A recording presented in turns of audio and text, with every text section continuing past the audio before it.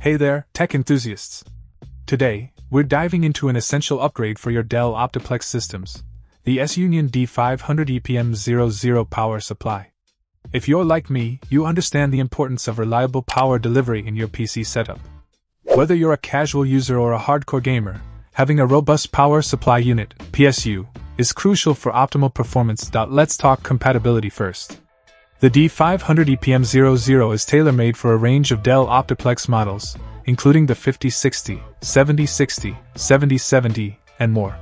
With a variety of compatible model numbers and part numbers, finding the right fit for your system is a breeze. Plus, with connectors like CPU 4 PINX 2 PCIe 6 pin and PCIe 8 6 plus 2 pin, you're covered for various configurations. Now, onto performance. Boasting a maximum output of 500 watts, this PSU packs a punch.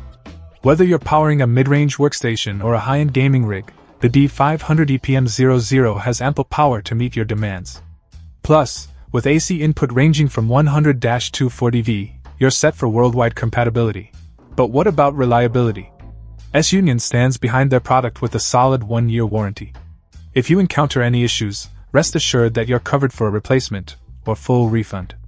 It's always reassuring to know that your investment is protected. In terms of dimensions, the D500 EPM00 is compact, measuring at 8.68 by 3.3 by 2.45 inches.